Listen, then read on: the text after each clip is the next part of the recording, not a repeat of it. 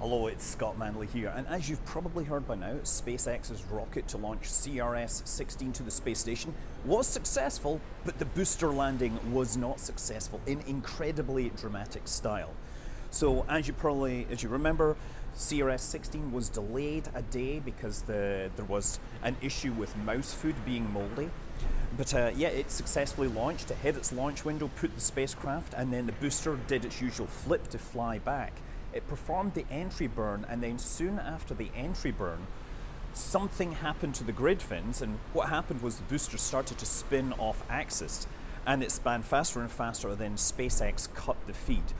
Now, of course, we had lots of people on the ground, including Das Valdez, Kerbal Space Academy, and he was on the scene with his Nikon P1000 getting amazing shots, and we could actually watch this thing spin down through the atmosphere very, very quickly. And then as it got lower, it slowed down.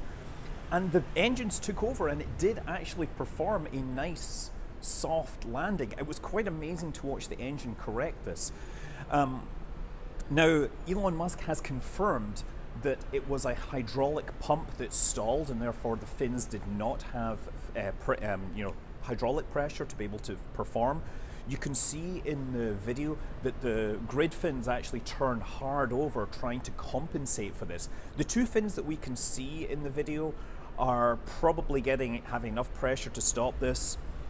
Um, so yeah, it, because it lacked the aerodynamic control, that meant that it was unable to perform the translation to get its landing spot as close to the landing pad as possible, so it would have landed just off the coast.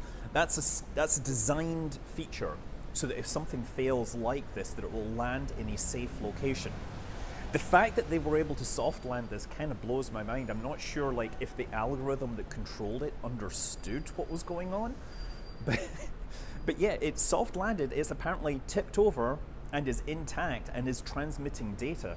Now the question I have is, will they recover it? Will they be able to depressurize it? Because this previously happened and they were unable to depressurize the tanks and they had to destroy the booster that had landed in the ocean.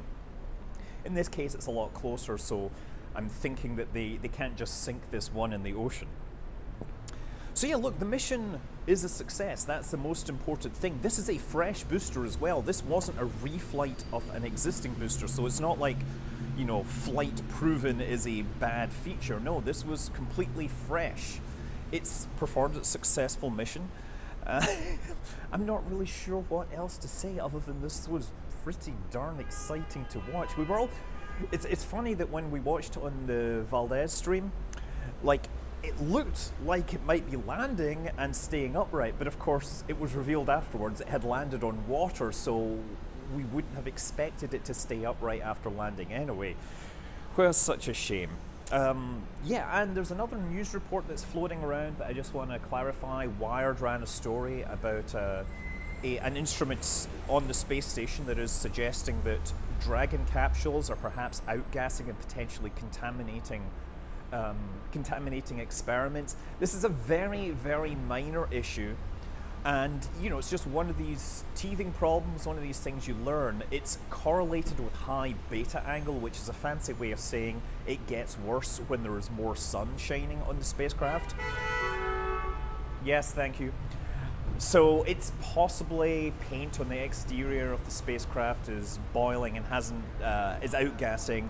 Something like only seven of 56 experiments could be affected by this. So I'm sure by this point they're working on it. If there really was an, an issue, they would not be launching CRS-16 at this point.